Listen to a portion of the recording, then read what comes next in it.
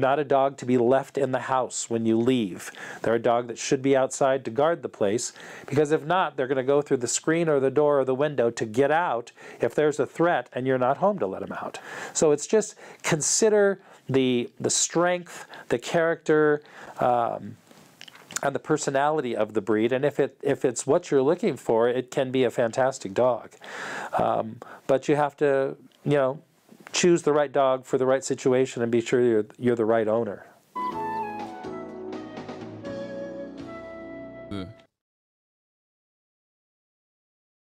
veterinarian developed dog DNA test. Not an ad, by the way.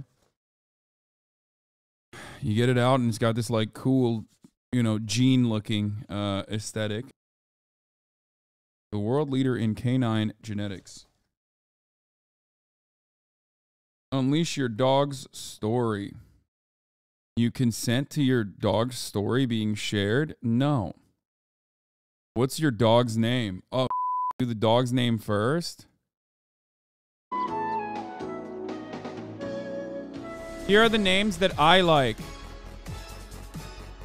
in no particular order. Fındık means hazelnut in Turkish. Aslan means lion in Turkish. Bear. And last but not least, Big Bertha. Oh, she's waking up. Uh oh. Kaya sounds more feminine than others. Ironic because Kaya means a rock and it's like usually a, a, a male name, but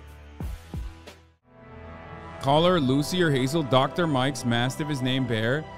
See, I'm going to pause this here for a second. And I need to explain something to you. I can't begin to tell you how little I give a about what Dr. Mike, what kind of dog Dr. Mike has and what kind of name that Dr. Mike has named his uh, dog, okay? I don't know why you keep bringing this up. Like, who the half this chat doesn't even know who the Dr. Mike is. What do you mean? The name Kaya, rock or boulder in Turkish, now has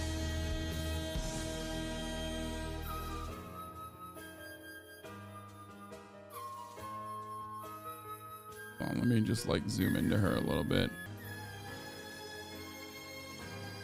with over 10,000 votes, is the clear winner. At 10,146 votes, the name Kaya, the Turkish name for boulder, has it. In second place, we have 20 at 22% with 4,347 votes, Kuma, which is bear for Japanese, bear in Japanese. And at third place is Aslan, Aslan, or lion in Turkish, at 10% of the vote with 1,955. In third, in fourth place, we have bear, which is bear in English, with 9% of the vote with 1,744 votes.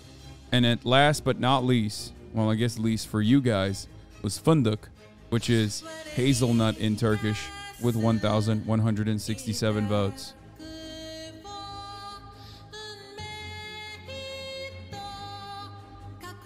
Ladies and gentlemen, with 52% of the votes, this is a democracy after all. Kaya has it. Although I originally said uh, in a, a TikTok that I believe went viral that I would name my firstborn Kaya it seems to me like it seems to me like